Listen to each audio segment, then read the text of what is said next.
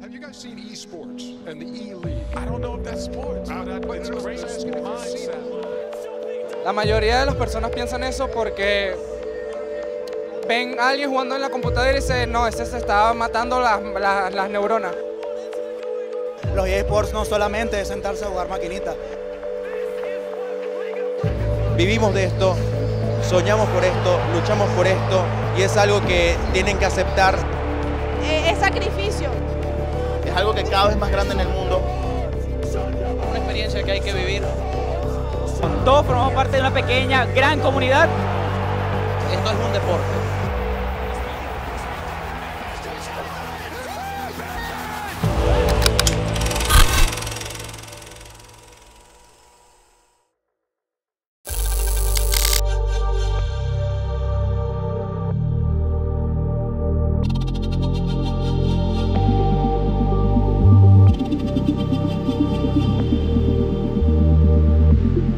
Carlos de Abreu, mejor conocido como Targuel en el mundo de los esports. Bueno, primero con el nacimiento de esta academia, cómo atraemos a la gente de los esports, bueno, sencillo. Primero trabajando con la gente que está en la- el UCAP, también ofreciendo cursos no solamente para jugadores, sino también para caster, porque queremos abarcar todos los roles que tiene la industria de los esports y, y bueno, al menos una iniciativa para que la gente que está interesada en participar en este ecosistema se pueda formar y, y poder vivir de esto. pues.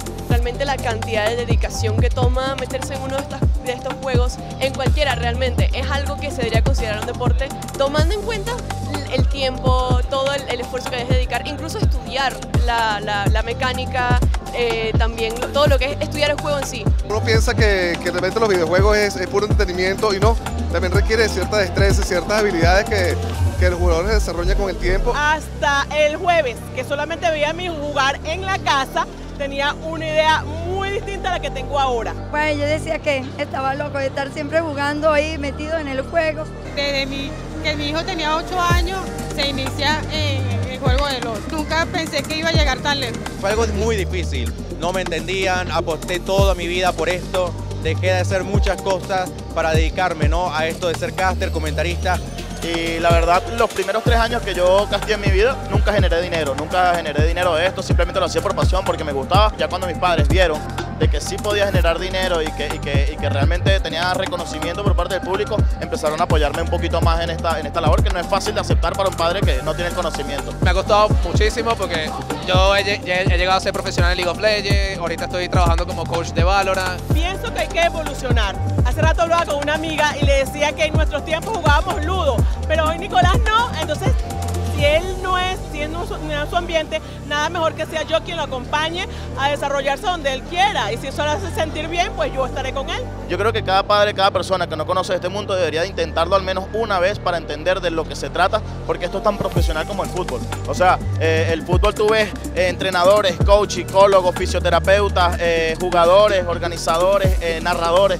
Y es lo mismo en los esports. Los esports tienen todo un montón de empleos y disciplinas que se pueden generar detrás de los esports. Te da mucha emoción. A, a mí me, me- me encanta jugar con otras personas porque eh, es una forma de hacer bonding con amigos que no sabías que podías hacer de otras maneras. Educar a, a- a- a nuestras antiguas generaciones y a próximas generaciones que también se incluyen al tema del gaming para que esto siga evolucionando y creciendo de la manera que lo ha hecho a- a- acá en Venezuela.